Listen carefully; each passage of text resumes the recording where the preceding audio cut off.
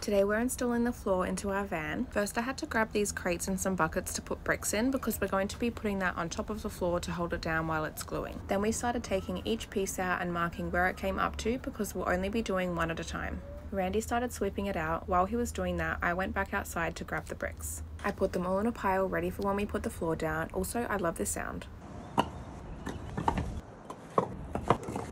To stick down the floor, we're using Selleys Fast Grab liquid nails. We've seen a few other people use this and it's worked fine. However, it does start to set within five minutes and it took a little longer than that to put it all over the floor. So we decided to just do the first piece today and let it set and if it works, then we can do the rest tomorrow. It did take a lot of bricks to get this to sit down flat, but as long as this works, we can do the last two pieces tomorrow and then we can get started on our framing.